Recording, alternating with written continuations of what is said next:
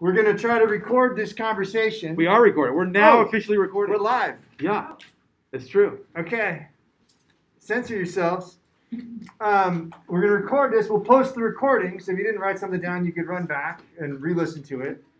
And we're also um, in the next couple days gonna share with you a spreadsheet. And the spreadsheet will have every project. We'll have information about the size of the team that'll be appropriate for that project. It'll tell you who the mentor is. It'll identify some specific skills that you might get out of it or that you might have to have to get into it. Um, and some other information about that project. Some of these are like location specific, like you'll have to drive to so and so. So we'll try to put all that essentially in a big table that you'll be able to look at. Um, I think we should make it so that they can download their own copy. That would be so. Yeah, yeah, yeah, yeah, yeah. And let me just just reiterate uh, term mentor, right? Just just so we're all on the same page. In some cases, it's doctor. It's one of us, right? As your, as that's it. But in other cases, there's some additional person. That could be another ESRM faculty member, somebody outside.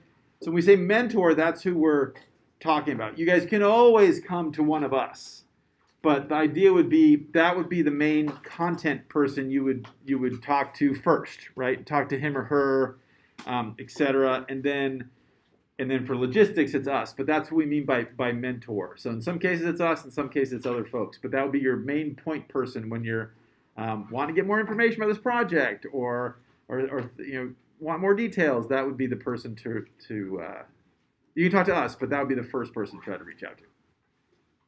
Cool. There's Lots all the of projects. projects.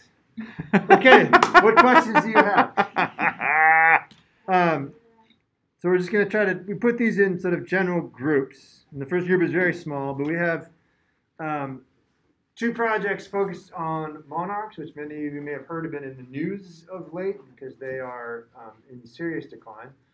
So we got some projects to help understand it. You want to talk about the first one? I can talk about the one. Yeah. Okay. So basically, um, uh, we have been so Ventura County has been doing a ton in terms of efforts to try to work on recovery of these critters. And so just to re- remind you guys, there is a um, uh, migratory phase that's down in Mexico near near Mexico City, up in the mountains near Mexico City, and then there's uh, and then those individuals come up all the way up and down the coast.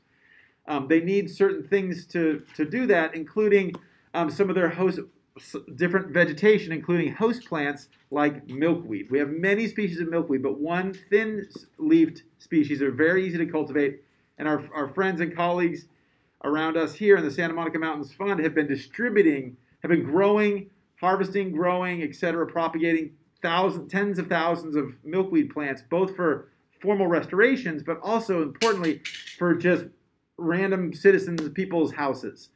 Haven't really tracked that. So the idea of this project is let's go and start tracking that. Let's create a, a framework to from here on out make sure we know where these pot where these plants are going, and maybe get a sense. Hey, did, did they live? Or did somebody just take these plants and they planted them in Camarillo and they all died, or something of that nature? So this is basically trying to keep track of what we've done so far and create a framework to continue to keep track of that on into the future. This is working with the, the Resource Conservation District. Uh, this is working with Santa, uh, uh, uh, most, well, yeah, yeah, a little bit with resource, uh, Ventura County Resource Conservation District, but in particular with the Santa Monica Mountain Fund, which is a nonprofit entity pairs with the um, National Park Service. Yes. Yeah. Is this like a lot of original data collection, or is it more like already working with data that Santa Monica already? They haven't really collected anything, so you, you guys would be collecting it. And so this could be surveys, this could be um, you know survey one two threes, this could be um, a whole variety of stuff. You guys would, would talk to them and figure out what works, what's going to work best. But it would include uh, new data um, amassing. Um, Uh, who is this through again? Uh, this is so the the point people would be me and some folks from the Santa Monica Mountains Fund. So I'll, I'll, you'll see their names on the sheet. Yeah. go ahead, please say your name. Uh, Darlene. Is Darlene. this specific to RSV and the nursery there, or Uh, it, it, it's it that, that that's a key part of it, but it, it is broad, it could be broader than that. And so the other thing let me explain about these projects is some projects are really dialed in, and like the project is doing A, B, C, and D. You, you will collect these data in Yep. this way. Yep, and and in some cases we've been doing it for a long time. Like Dr. Reineman has a project where the students have created the template and started collecting some data, and now the folks this time are going to continue that on, etc. So we have projects like that. We have de novo projects, but yet nevertheless are super dialed in. And then we have projects like uh, this one we're talking about here, which is we have the outline of the project, but in the first couple weeks you're gonna you're gonna be having conversations, chatting, what's possible, how are we gonna make this work, etc. And um, and so you guys will will be able to evolve, shape, mold the project, and this is one of those. Um, so the second Monarch related project is essentially participating in um, the annual survey. So there's organizations that do an annual survey of the migration as it comes through this region. Um, we're working with the Los Angeles County Coordinator, who's in charge of all the Los Angeles County surveys. Um, and there's a, a set method and protocol they have for doing this. Um, we don't have the, the Ventura person on board, but we can certainly do the same protocol here. Yep. Um, and hopefully we'll be able to rope that person in. Otherwise, if, if, for example, someone that lives in Los Angeles County, this would be a good one for you also. So the idea here is to participate in the annual survey. It's a very standardized method, but we don't just want to know where they are. You'll be able to do some additional survey work on the side, right? Contextualize the presence of monarch butterflies based on maybe other habitat things that you're interested in. Presence of native versus the, the non-native milkweeds or other things like that. Right? So it's still focused on monarchs, being a part of the count, contributing your data to the, the, the very active and real sort of official effort for tracking the monarch butterfly migration um, and making some neat contacts and uh, opportunities with those those organizations. Um, I'll say that the, the, the guy who's running it in LA, um, he's, he's actually he's officially he's a, a grad student at um, at Northridge, but he's a, a, this incredible naturalist. He's been like active in this area doing these things. He this is Richard Bachman, um, who came out and, and we got to meet on Rosa um, that very first week that Chris interviewed. For those of you that were on Rosa this summer. Um, anyway, he's a really, really interesting, fascinating guy. So those of you that are interested in just like nat- being a naturalist in general and sort of getting involved in local things like that, this would be a super cool project. And that, that has a, a training uh, coming up, and then you guys would do the surveys in the fall. Is when the when the looking at the roost sites. monarchs.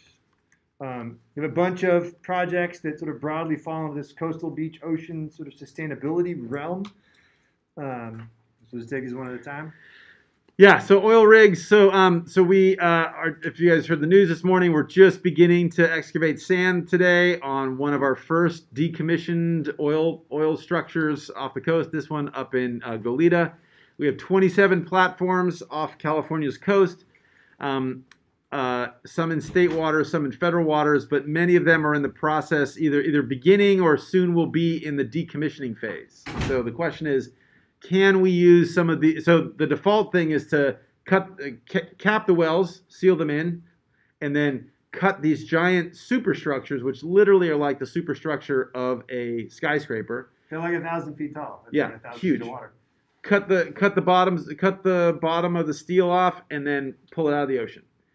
Um, that uh, to some of us seems to be a fool idea, given that that's a huge amount of embodied energy, et cetera. And there's something else we maybe be able to do with those platforms. One idea is perhaps some desalination. Um, and so this is we, we had a, a group of students try this last last year, first pass, do a first step. Obviously, we're in the drought; things are getting more intense, and water is becoming even more valuable. And so this is basically conceptual, mostly sort of literature review, that kind of you know Excel spreadsheet estimating kind of thing. If we were to do this, how much would it cost? Would it pencil out? Um, that kind of stuff. Somebody had a hand up. Julie. Um, I was thinking of like maybe trying to make an artificial reef or something like that. Um, but maybe not.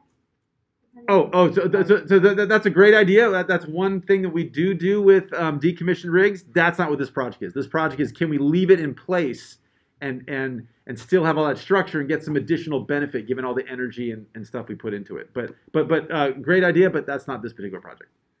So, for those of you that are interested in desal, which is going to be a significant component of California's water supply in the coming decades and century, otherwise we'll all have to move someplace else. Um, this would be a real, so in other words, this is going to be a big, important, growing field. Um, and so this would be a cool way to, to start getting your feet wet. Ooh, that was good. Feet salty. Uh, next one is uh, Huntington Beach. Uh, so, um, getting ready to do some uh, surveys of businesses, in particular, in and around Huntington Beach, where last, where almost like ten months ago, um, the Huntington Beach oil spill happened. Lots of worry and fear. It was a relatively small spill. We we quickly figured out. Um, but nevertheless, want to look at the impacts of that spill, possibly correlating that also to what happened in 2015 with the Refugio spill. So that's some straight ahead uh, a, a p- polling of businesses and, and looking at what the impacts were or were not on their businesses.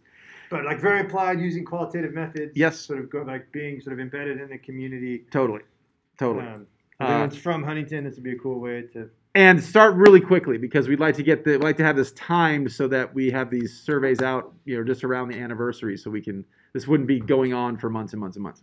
Seafood. Uh, and then sustainable seafood, which is just uh, those of you that are taking a coastal class, we have our large, massive data set, and uh, and this is working through that, looking at how sustainable our seafood supply is, looking at embodied energy, like how, what, what the carbon emissions associated with restaurant seafood versus versus market seafood. Um, what's the diversity of options? Did it change over COVID? Those types of so that, that's basically a large data base that you all would be mining, um, maybe collecting a little bit of data, but mostly processing uh, data, asking hypotheses. Is that all we have here?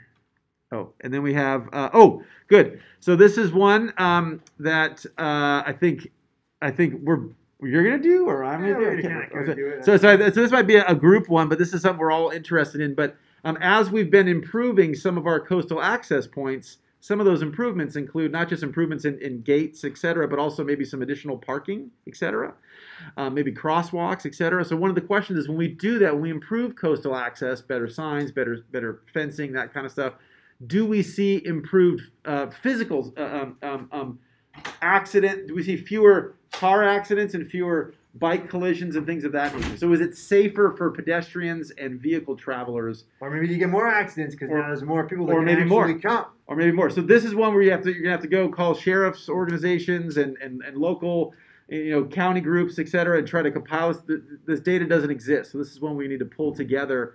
Um, and we've had several new places, for example, along the Malibu coast in recent years where we've improved that. So we have very specific points you can go and look and see has the accident rate uh, improved, gotten better, stayed the same, et cetera. So that's that. Um, this is working out at Surfers Point, where they are halfway through. Surfers Point is in Ventura. Um, halfway through um, a a long but quite significant effort to implement a, a managed retreat to deal with shoreline erosion and rising sea levels. Um, and the idea is to uh, implement a, a pretty simple protocol to assess what's happening with wave resources in this stretch of coast right now, so that when the second phase of this project starts getting done, we'll have some baseline data to see what, if anything, changes. Um, so this is great for people that live locally in Ventura. It can get out to the beach to go for a walk as often as possible. Um, go ahead, Jack. Jake. Jake, yeah, I don't, I don't. What's the like, the like point of the Surfers Point uh, project? Like, what's their like goal? What are they trying to do? Um, kinda the, the goal is to do with the fact that so right now this is um, this is an image of the, the phase two when it happens, and if anyone's been there lately, right now pretty much this section of of the beach does not have a nice promenade. It has um, it has basically an asphalt stack that's crumbling into the ocean. Um, but at the top part of the point, there's healthy dunes. So the idea is to implement a, a, a revegetated dune project in this middle part of the point to help deal with the erosion that's happening there. Oh. So it's taking out a hardened structure, putting in a, a much better, smarter option. Um, and when they do that second phase, the question is, what impact is that going to have on what's happening in the water? Um, BSA index. Okay, BSA. So um, some of you have, have helped with, with uh, helped us with this over the years. This is basically our our uh, multi-factorial look at the conditions of our beaches. How healthy are our beaches? And um, and when I uh, sort of pulled together some of our indices, I tried some things and and, and ran some numbers, et cetera, and we got the index that we have but we can use a lot more what ifs. So, what if we did a multiplier effect? What if we did a uh, you know added in this other factor. So it's basically taking our, our existing data set that goes for many years, con- conditions on beaches over many years, and um, and tries to combine things together in different ways. Do we get the same story if we if we add half the number of variables, if we use a multiplier, that type of stuff. So this is one for people that like to try different combinations of things. Um, not really any new data collection, but definitely new uh, data interpretation with this uh, project. Essentially developing a rapid assessment tool to help coastal managers understand the health and condition of a beach. So it's actually a pretty important contribution. Yep. Oh, it's super important. It's it's. I would go on to say it might be Nobel Prize winning, but I don't want to get you know ahead of myself. A little bit. Um, so some campus projects. You want to run through these? Yeah. So these are from uh, our our friends over at facilities, and so this there's there's several things here that we could use and need. One is um, a, a revamping of our plant palette for campus. We have an existing native plant palette, but in the era of reduced watering, etc., um, we might need to adjust that somewhat. Um, a second project is looking at how aware of sustainability issues are our population is our population on campus, both students and faculty and staff and everybody kind of thing. And so this is this would basically be doing a survey to people understand what the conditions are.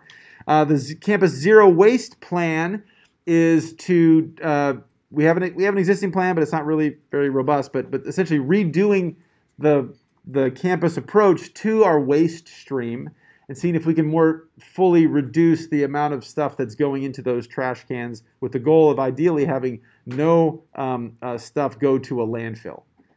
Um, and then we have a green revolving fund. So one of the things that um, uh, like places where Dan and I have been, one of the reasons they're so, one of the ways they're so successful is they have a lot of money and they put that into like a zero interest loan. And so if we want to replace our light bulbs here, we just get money from that loan, buy the new buy, buy the LEDs or whatever, even though they cost more, and then in the cost savings over several months, we pay the, the loan back. We don't have such a fund here at Channel Islands. That's a smart idea. We, we, we don't have such a fund here at Channel Islands. And so the idea is um, how would we structure that? What's a way to make it work? How, how do we how do we get money into it the first place? And then what would be the rules? Would we allow student groups to do it? Would we allow facilities to do it? So this is more for folks interested in the, the finance side of sustainability. Um, for all of these, you'd be working closely with the sustainability office on campus. It'd be really, and they have Roxanne, they- right? Yeah, and, and she employs lots of students, past and present. Um, so it's a cool way to sort of get in with what's actually happening on campus. Totally, totally. Uh, sustainable dining. I'm not. I don't know the exact specifics, but I think this is built around not just food options, but also what are we doing in terms of the the plate provisioning and and and that kind of stuff as well, specifically in campus stuff. dining. Yeah, right, exactly. Uh, and then uh, decarbonization roadmap. We we um, don't have a very clear plan. Even though the fact that I'm on the committee and we have meetings about this, it just doesn't seem to go a lot of places. Um, so this would be um, helping us again strategize. So this wouldn't be implementing a decarbonization plan. This would be given where we are right now, given given this current situation. How can we go forward with our organization? Again, another really useful skill if this is the kind of uh, discipline or kind of area you guys might want to go into uh, post graduation. Um, let's get through like two or three more of these, and then we'll take a little break. We'll take sort of questions so far, just in general. And Oh, yeah, we'll, questions we'll so far? Take a little break. Okay, cool. Um, so we have a bunch of, or just sort of like more biodiversity oriented projects. Um, we run an annual Bio Blitz, which is sort of a community event that involves going out and collecting a lot of data using specific digital tools to identify what species are where and when. Um, so we do this sort of as a campus-wide community event. Um, but between now and then, students in this project will also essentially be collecting as much data on their own as they can. It's going to go into a larger data set about this. So we'll ask questions about what is where, when is it blooming, when is it present, when it is not pleasant, present.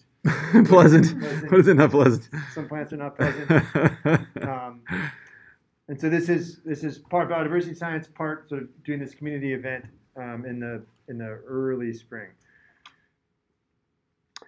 Uh, okay, this is mine. This is uh, doing a project that we've we sort of took a couple stabs at for a few years, but hasn't really matured. But basically, this is looking at the distribution of sand dollars which are also a key part of our Sandy Beach ecosystem, the underwater part of our Sandy Beach ecosystem. Uh, just looking at their distri- abundance distribution, um, and if that has changed over time, and then with a similar uh, or species that's often associated with them in the sand, uh, Renilla or sea pens. These are little invertebrates that are that are in shallow water, sandy areas, and this would involve um, both surveying, so broad surveys of dive shops and things of that nature. Um, hey, do you do you know where there are there uh, sand dollars off this particular beach, or there sand dollars off that particular beach? Type of thing, as well as going to museums and looking at historic collections and historic distributions of these organisms to see if they've changed uh, over time. So that's more of a natural history Snorkeling? project. What's that? Snorkeling? Uh, you could you could totally do snorkeling. Yeah, I mean, we also have a research dive program here, but that that might be that's probably too tall an ask for you guys. Uh, bird banding station. This is uh, Brenton. Uh, Professor Spees is a doc. Excuse me, doctor. Spees. Doctor Spees now uh, uh, is uh, wanting to um, create more purposeful uh, annual surveys of bird populations in and around Cam Park. I think that's on here too. There's something else on Burbank. I don't know what that other one was. You don't go together? Oh wait. I didn't know. I think he was banding. This is separate. Uh, oh wait. This, this is oh is this the individual project? I have no idea. Oh, this is the individual project. Oh! So we'll skip that one. Never mind. Yeah. Sorry, team. I- Ignore that one. Okay. now we are. hard. Yeah. So number seventeen isn't isn't for you guys. We have we have Sorry. two capable students already on that one. Uh, but but uh, uh, you guys can tell us about your project. if you want. Anyway, uh, so so what I was just describing are the Camarillo Park bird surveys, and so again with that, um, this is where uh, you'd work with uh, Dr. Spees to go and do It's also the frequent the surveys. ornithology, the the Nest Museum thing. I can't. Oh yeah, well, Western Museum, Yeah. uh, Western Foundation for Vertebrate Vertebrate Zoology. Thank, Thank you. you. And so, um, yeah, so this is basically so this this is for people that like birds or want to learn their birds and uh, you know go out to campus and do a lot of surveying and let's see what what critters we have here that fly. Uh, barn owl diet. That's another project we've done on and off for many many years. Looking at our we have resident barn owl populations here on campus. Barn owls are cool because they do not have a crop. A lot of birds have a crop or they swallow some stones, so they sort of muscularly chew uh, owls do not have that. So when they, they eat their prey, after a little bit, they they cough it up, right? So they cough up. Uh, Wait, Uh, sorry. it's a uh, Wait, what, what, what? it's it's a beautiful thing of fur and bones and uh, hard structures, as it were. And so they cough these up right near their, essentially near the same place every day. So we'll go to some of these stations around campus weekly, uh, uh, pick up the old ones. The first week we'll just pick up the old ones, and then after that we get the new ones, and we know those were were coughed up in the last couple days. And then you guys will dissect those, and we look at the prey. Has that prey changed over time? With the drought, are we seeing these critters eat different food items than they were eating, say, 10 years ago? That kind of stuff. So that's basically a little bit of walk around, but a lot of lab time in terms of um, dissecting and things of that So nature. it's really kind of a cool sort of like forensic puzzle. To be like, oh, this is the is this mandible of shrew or a vole? And Yeah, if You you like Dan. Brown novels or things like that, or, or Sherlock Holmes, you'll love it. It's good. It's good. Um, so we have some Santa Rosa Island related projects. Um, we have a project working on Black Mountain to do a demographic study of the, the island oaks on top of the mountain. For, for those of you that are eager to do like incredibly intense field work in an extraordinarily beautiful special place, this is for you. I, I don't know. For those of you that spend a lot of time up there, do you have anything you want to maybe just a, a mention? Is it worth going up there? Yeah, it's pretty strenuous climbing. We had, um, Polly and I actually established Foster, um, over the summer and, um, we did like eight to ten mile days for a few days of that. Um, it's gnarly, it's beautiful, um, it'd be totally worthwhile. It's a place that you that like no one else goes and tromps around. Like views. It's basically it's like I'm getting all excited now, but it's it's like pretty much right up here and you sort of get to look down across all. It's really And spectacular. and you would work with Kathryn McEachern, who's a member of the SBS, really important figure, a very sweet woman, Amazing restoration scientist. so it'd be a good experience. Um, so for those of you interested in fieldwork, this is awesome. Yes, go ahead. Please say your name. Uh, Kat, Kat. and how many, or like approximately how many field days do you think this would be? Like, is it like once a month? As many as Like, possible. many, many, many. yeah, well, that's, that's Uh, There'll probably be like maybe three or four trips for something like this. I don't think we have an exact count. It's going to depend on productivity in the field. With the trip being a long weekend or slash week kind of thing. And I'll, I'm sorry, I'm going to ask you to say your name again. It's Brooke. Brooke. Okay, thank you. Are like all the trips to the islands that, um, You have to bring your own food. Everything else is covered, but you get to stay at the station. Um, yeah, so you you bring your own food, but everything else would be covered for you. Depending, maybe you get to go out on the park boat, which is kind of cool. Makes you feel cool. Um, we have a project working with the National Marine Sanctuary and with Island Packers. Um, all the ships in the sanctuary have been collecting balloons, like mylar and just sort of like latex balloons that are like floating around in the ocean. And they've been like collecting this. They have like bags full of balloons. Um, one among you has already helped to sort of go through this stack of balloons and start like digitizing them. But the idea is to both create an actual data set and look at some like frequency analysis of, you know, do you see more certain kind of balloons, say in like February or like after graduation season, right? Like when do you start seeing these things? Easter. Um, Who knows? and and could we develop some sort of me- messaging and education in our communities to help people realize that balloons are a pretty stupid thing. Balloons suck. No, balloons, Balloons blow. blow. That's it's very clever. I see what you did there. Um, and so this is working with existing data, working with these groups to collect more data, developing some connections with NOAA, the National Marine Sanctuary Office, um, and with um, Island Packers, um, two really cool partners. Um, this number 22 is sort of like it's a, it's a little bit of a departure from the typical capstone format. But for those of you that have visited the island, maybe for a day or a weekend, there are a few kind of typical activities that groups do when they get out to San, the research station on Santa Rosa. And the idea here is to develop some new activities. Um, and we got some really clear ideas. We ran a bunch of trips last year, sort of trying some different things out. So if you're interested in sort of getting out there, thinking about history, cultural resource management, First Nations considerations, present ecology, all those things, and sort of connecting them with, say, K 12 education because you want to get into maybe outdoor education or environmental education. Um, this would be a really cool opportunity. Um, this is one other one right around the station in um, December 20, I guess it was 20, shit, 20 or 21. Damn the COVID time warp. Um, the park opened up a new trail um, on Rosa, and it kind of runs right here. Um, and so it's a new trail. So new trails mean all sorts of interesting things. And over the summer, we established sort of a baseline monitoring system. But the idea is to get out there and revisit this trail to keep track of who's using it and how much and what impact that's having on the surrounding resources. So this is sort of an opportunity to do some sort of ecological and also human impact mapping and monitoring. Um, the park is interested in this.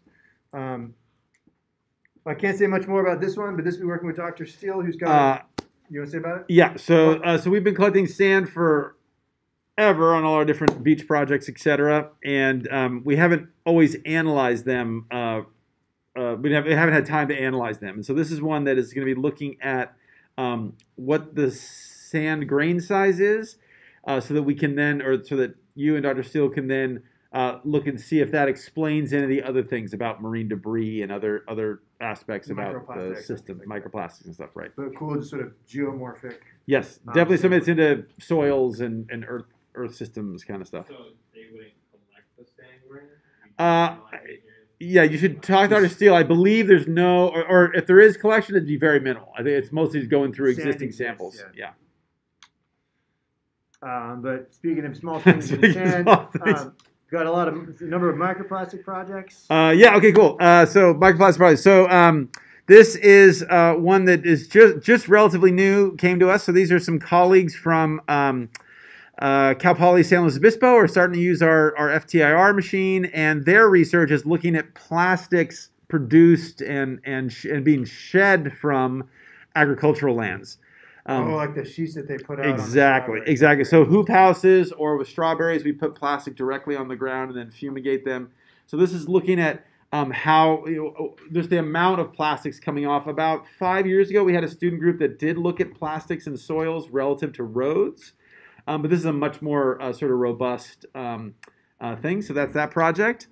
Uh, using the methods that those folks have developed, um, and then uh, and also uh, Prof- uh, Professor Kafala she also does some of that. So that would also be maybe uh, um, partnering with her a bit too.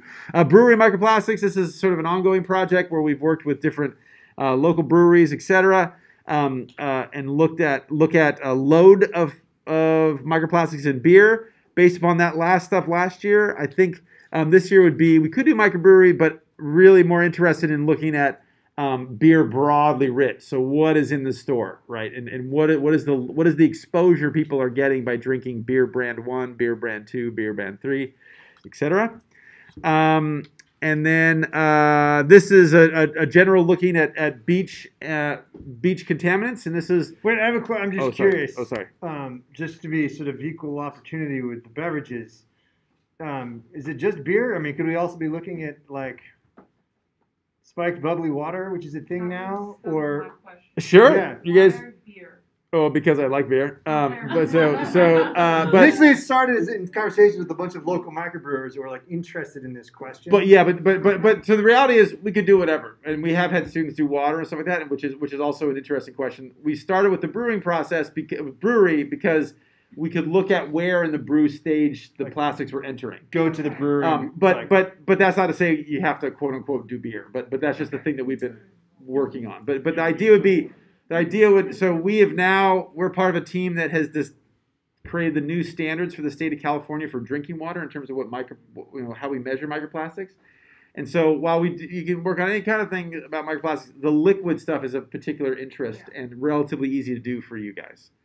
Um, so that that was that was the comment. Sorry, then we got all excited. We plowed ahead. Um, we can. How's everybody doing? We have roughly ten more to get through, and then we can stop and people that want to ask questions, and we can otherwise end early. We could take another break here. How's everybody doing? What's like the pulse of the room? Great. I'm getting Plow through, Is plow anyone who's through. like, no. If there's anyone that's like that, you can just duck out. That's totally cool. Okay, so uh, this one is looking at uh, macroscopic and microscopic plastics on beaches. In particular, this is going to be uh, uh, Heal the Bay one? yeah, this is with uh, paired with our friends at Heal the Bay, which is the environmental group that runs all the beach cleanups in Los Angeles County. We can. Oh man. It's his computer. His phone is silent. Sorry, uh, that was that's uh, that's my collaborator from uh, from Turkey. Um, anyway, so so um, beach uh, macro and Heal the Bay. microplastics and heal the bay. So this is um, a great one because our beach cleanup is coming up in a few weeks, right? Goes to cleanup day. So it's not something September 17th. not something that we're going to do in January 1, right? So, so we're going to um, have these groups that are collecting plastic. They're going to give us some of their plastic, right? And we're going to figure out what it is. In particular, they're really interested in the recycling symbol number seven is this sort of smorgasbord of, of stuff that people don't know what they are. So we're going to collect all those and fingerprint them and, and understand what they are. In addition to fingerprinting other plastics on the beach and looking at microplastics geographically from a, a, you know a, broad geographic range. So um, that's that project. Um, and then this one is uh, this this one here, plastic foodware. Um, uh, the main person you I mean work with me, but but also uh, Zach Atkins. So he's he's going to be our our uh, lead mentor on this project. And this is one where we want to look at the composition of common plastic things, forks, straws, uh, plates, things of that nature um, around the county, around the counties around us, look to see if there's any similar patterns and look to see what the demographic correlates are. So, um, in community of income X, do, are, are there straws all made of the same kind of material? In, in, in you know community Y, or, or is, it, is it much more diverse? That kind of stuff. So understanding what the, the sort of plastic sourcing is like. Um, Is it plastic specific or is it like single use? Uh, well, it Just could it could be it could be either. It could be either. It could be either. I, I was thinking it would mostly be plastic to try to get a fin- footprint or get a, a, a, handle on the sources of the microplastics, but it could be it could be whatever. I mean, our our instrument will be able to tell you if it's you know made out of cornstarch or, or those other types of, bamboo or something of that nature. Um, okay, uh, urchin microplastics. This is this is a, a new one that we just came on the, the scene on Friday from some conversations. This is uh, with me, but especially with Professor Spies. And this one is for people that live in LA or don't mind going to LA. So this is using the lab facilities at the Cabrillo Marine Aquarium. Um, and they have a fantastic It's really cool. they have a fantastic culturing facility. In fact, when I first moved to LA, it wasn't a job. But the place I first volunteered was as a as a, a, a rearer of jellyfish at the Cabrillo Marine Aquarium years and years ago. That's one does. Um, and so uh, what this is, so sea urchins are really cool. Sea urchins, and you guys might have done this in your bio labs. Very, very easy to spawn. Very easy to get them to release eggs and sperm. And you can fertilize them, and instantly when they fertilize, they form form a fertilization ring. So in about 10 seconds, you can see if they actually successfully fertilize or not. Um, and so very easy to do. But then also, it's easy to take these these embryos, put them in some uh, in a, an aquaria, and grow them up to days 5, 10, 14, and look at their development. So the idea here is we're going to expose these different um, uh, juvenile, you know, little little tiny developing embryonic uh, larvae of sea urchins to different concentrations of microplastics and see if that impacts how they develop. So, so do they not fertilize as much, or once they or, or once they've been fertilized, do they develop slower? Do they develop with deformities? That type of stuff. So, if you're interested in toxicology and and and and, and really cool structured experimental. and and we have done this kind of experiment here before in the past, but we need to set up the whole lab. They have everything all, all turnkey down there, so it's super super simple to use their facilities, and they have all the rotifers and things to feed the baby urchins, so it'd be super super simple. The only thing is it's it's in LA obviously, so you need to have transportation, and and this wouldn't be going every day for nine months, but this would be going for you know. Uh, quite often over the course of many weeks, month or month or two, to do the main work. Because you're gonna fall deeply in love with all these Yeah, microscopic. totally. Um, ecological monitoring projects, Conejo Creek. Uh, this is another one that we've been doing for, for some time. This is specifically looking at the efficacy of different land use. And uh, this is so um, Conejo Creek, which starts up sort of behind us and then spirals all the way down around us, goes flows down the basically the 101 of the Conejo grade, goes hits the main stem Conejo Creek and uh, uh, Calleguas Creek, excuse me, and then flows down to Mugu. So this is a we have a, about four different monitoring points. But the cool thing is the most interesting one is we have one chunk that's in a 70s development that's an old box culvert. So the water is going through concrete with basically nothing on the sides. And then a relatively new development from about 20 years ago where the riparian corridor was left intact. So the idea is we go in there and measure what's the water quality like there, what's the water temperature like, what are the microplastics like, et cetera, using our water quality probes.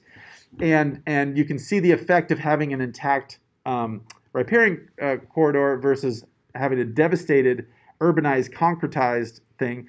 And the reason why that's cool is normally when people do these studies, it's like there's this there's there's this thing over here, and then five ten miles over there, it's over there. This, these are about a quarter mile apart, so they're they're paired. So the same weather, the same rain, the same uh, d- basic demographics of the residents. So it's pretty cool. So that's one that um, you guys should have ideally have taken um, coastal contaminants. Uh, and if not, be familiar with using our water quality probes. It's not high tech, but it, but it, it's it's using probes all the time. Yeah, question. Yeah, is that like pretty consistent water, like OG foot like data collection stuff? Uh, once a week. Once a We do it once a week, and then and then uh, whenever we do get our first big rain, Yeah, we'd want to go out right before that rain, yeah. and then right after. So so mostly it's pretty consistent, except for around that you know who knows when that's going to be. Is like once a week in fall? Yes, spring is, like, Yes, yes, yes, yes. Uh, okay, so this one is uh, this is a super cool one. Also, this is a brand brand new one. So this is um, looking at the impacts of the drought restrictions. So I'm not where everybody lives, but for folks that are in like San Fernando Valley, uh, East County Ventura, so Camarillo, uh, Thousand Oaks, etc. We all, as of June 1, have now been forced to only one day a week water our our lawns, outdoor watering and it's now very clearly showing up. So now we have a high proportion of people whose lawns are dying. So this is basically going to be using some satellite data to confirm that, and then drive around, or, or sorry, use satellite data to look at people's dead lawns, and then drive around and do visual surveys to confirm that. So to confirm that what we're seeing is really happening. And the idea there is to look at how well did these drought restrictions, uh, you know, how, how well did this play out? And we can overlay some demographic things. So was it the wealthy neighborhoods that has the highest compliance? Was it the wealthy neighborhoods that have the lowest compliance, et cetera? And this will be really, really, really, really helpful because this drought isn't going away. So while our jurisdictions have experienced this, this watering restriction, it's coming to everybody else. So really helpful thing for, for um, dealing with future, uh, for the next phase of the drought. So that's again GIS and then driving around and doing some some in-person observations, not walking on people's properties, but just sort of you know from the car looking. Um, oh, this is another cool one. Uh, actually, the guy just texted me this morning. He's like, "Hey, does anybody do this?" So this is working with a, a, an activist in the community who is um, fantastic photographer. And there's a if you guys drive on the 101 towards LA, you'll go up the freeway and then you kind of drop down. You're going. There's a large field to the right after you've gone maybe about two or three miles uh, past the peak of the Conejo Grade. Um, that is a historic wetland. Um, it's in, there's a controversy around it. So the a person has purchased the land and wants to develop it, and says all we have to do is take a big giant cistern, bury it underwater, bury it underground, and that'll take care of all the water, and it'll be great. And so, um, so this is an, a, a project that this uh, gentleman has started to accumulate historic photographs, maps, old accounts from the 40s, 50s, 30s, 60s, 70s, and to show what the what the functioning of this wetland was like. So this is a historical reconstruction, historical ecology project to um, to uh, well, I, I shouldn't say prove because you would be looking at that, but the hypothesis is that this has been a healthy wetland. It's been a healthy wetland for a long time. Let's let's see if we have evidence of this ecosystem for decades in the past, as it appears we do. So we have a lot of this stuff starting. So this is basically pulling this stuff together. America. Uh, is it in this state or is it just certain other states where wetland destruction is illegal? It's federal in this Federal. country. In this country. So I'm a little. There's some interesting recent Supreme Court cases about what. So so so yes. So So uh, people getting bendy with it and trying to do terrible things to wetlands on their private property? yes. Okay. Okay. Short answer. Yes. Jake. So he's doing it to try and stop what's gonna happen to it. Like he doesn't want it to get developed. He's trying to show that it's a like Well, yeah. So so so so th- so this is so I'm not telling people how to advocate for something one way or the other, but this is saying what was the what was the state of this ecosystem over the last many decades? Do we have evidence that it was a healthy, functioning wetland, and not just like yeah, I think so, but actually it's pulled together with maps, with imagery, with with personal accounts. So it's actually it's a historical ecology project which has which would have direct impact on the policy and everything, but it's not. It's this project in itself isn't isn't like a advocacy thing or do you know what I'm saying? For those yeah, interested in the so it would policy. be like it would be like a lot of field work in this one too. a little bit of field work, a lot of a lot of looking through archives, a lot of pulling stuff together and trying to figure out timelines, that kind of stuff. More, more like kind of library uh, uh, uh, type of field stuff. Like but going yeah. to the local library or the like city planning office. Right. Right, where they'll have like historic survey maps. Right. And the wetland, we just the, the name has kind of gone back and forth, but people typically now just refer to it as the Borchard wetland when they talk about it, which is the name of the road next to it. Uh, Ten minutes. Uh, okay, out of kind. Oh, this is my project. Uh, so this is um, this is a project where I need uh, students. So we are. This is a, this is a long term project to go a couple years, but this is um, literature review basically and synthesis. So reading a bunch of papers, um, figuring out. Um, we're, we're helping the state create a new approach to restoration, to restoring things in the coastal zone. Uh, could be a wetland, could be a, a kelp kelp uh, reef, could be a sandy beach, whatever. And so this is going through a bunch of literature and figuring out um, what are the best predictors of wetland uh, of excuse me not wetland of of a restoration success, and uh, how do people measure it? So it's creating a big giant database from the the known literature, both the peer reviewed literature as well as the gray literature and government publications kind of stuff. So that's that.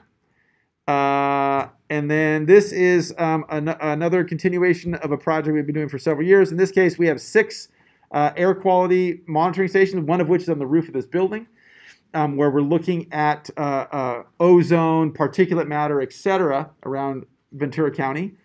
And um, try, and and turning that data into publicly available data sets. And in particular, this is going to be going through the data sets and starting to mine them and starting to look for interesting patterns. Hey, in this neighborhood, we have a lot of particulate matter problems. In this neighborhood, not so much. Both using our our sensors that we've ins- installed, as well as um, other publicly accessible data like Purple Air's uh, PM 2.5. So this is for somebody that that that's inter- that likes Excel spreadsheets, likes to play around, likes to look for patterns, that kind of stuff. So So also working with like a really active and important local NGO, which is CFROG, which is yes, Citizens for Responsible Use. uh, so so uh, no, now it's Yeah. now it's climate first. Oh yeah, they granted. responsible oh my gosh i think i can't remember the rest of it um, so so so both this and borchard have direct you know the projects would have direct implications as many of our projects would have direct implications for maybe management or policy or some such thing but but this is not do, advocating it's just like let, let's look and see what the data tells us. what are the patterns show us uh, and then there's there's, a, then this is working with uh, Joey um, and the folks at the National Park Service. Um, it- this there's several ideas here, but basically some of these involve uh, different um, uh, experimental manipulations of, of plants, etc. In some cases, it's watering them more, and, and the idea is how do we get these these restored plants? How do we get these these plants that we're trying to be more abundant in and around the Santa Monica's to be more successful? And so, uh, that, so th- this is uh, mostly field, mostly in the field. Uh, Cool stuff. restoration ecology based project. Looking at the, like, the oak restorations you've done, it seems like have been Uh, I, I'm- I'm sure they'd be open to it. I don't remember if he specifically mentioned oak. He might have, but um, but yeah, this is one of those ones where he's like, we just need a bunch of help on these projects. So this would be one where if you guys are interested, you you talk to you talk to Joey, talk to the folks at Santa Monica, and say, hey, so what do you guys need? Like, well, there's like X, Y, and Z, and you could say, hey, what about the oaks? And they would either say, oh, we got that under control, or actually, that would be fantastic. So And there's that, another one where this is a really amazing opportunity for you as a student to get involved in one of our local national park units. Lots of former ESRM folks are employed by the Park Service, and many of them sort of go through this Santa Monica Mountains um, unit conduit. totally. Super cool. Totally. Uh, oh, this is one. Uh, it's actually become even more interesting as of with the uh, Air Two yeah. ruling last week. But this is there's already some efforts along this route. But this is um, again a bit more amorphous. But this is how do we boost the electric infrastructure, right? So Charging infrastructure. charging infrastructure for electric vehicles.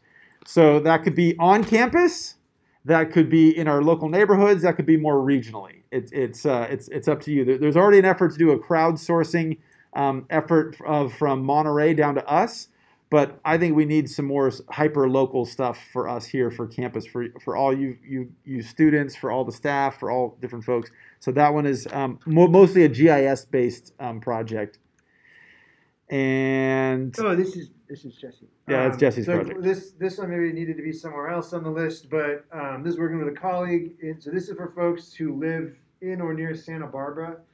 Um, this is working with some local birding groups that have a lot of bird data um, in and around the Goleta Slough, and they're interested in doing some habitat characterization work associated with the bird data. So the bird data exists. You don't have to be a birder, but if you're interested in sort of getting out in the field or the wetlands and doing some just sort of good whole, good old fashioned sort of ecological assessment of like what is the biodiversity, what is the habitat structure in this area. The bird groups there are really interested in, in putting those two pieces together. And I think, and then, Uh, and then an it's the independent project. project, yep. That's it. Okay.